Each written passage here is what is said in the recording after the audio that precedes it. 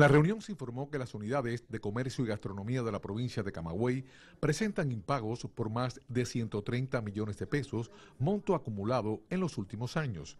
Entre los principales problemas se encuentran el robo, la falta de control y otros mecanismos financieros que no funcionan bien.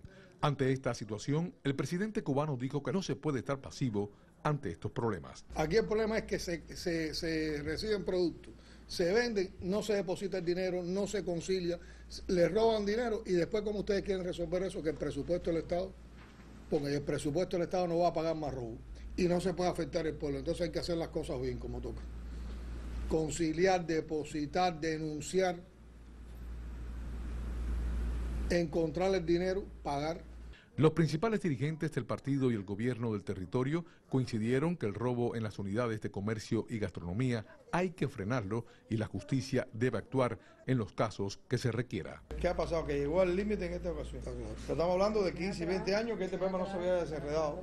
Así que el problema no es de un año, ni de dos, ni de tres.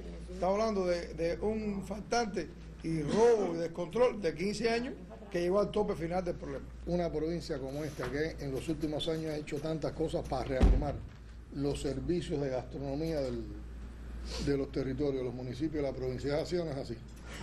¿Eh? No la demerita después que entonces, por un lado reanimamos y por otro lado tenemos estos líos. Pues se han creado mejores condiciones, las unidades están mejor, hay una expectativa en la población por las nuevas opciones que se dan, hay una demanda. Eso, también hay que calzarlo con esto, tiene que funcionar bien la economía.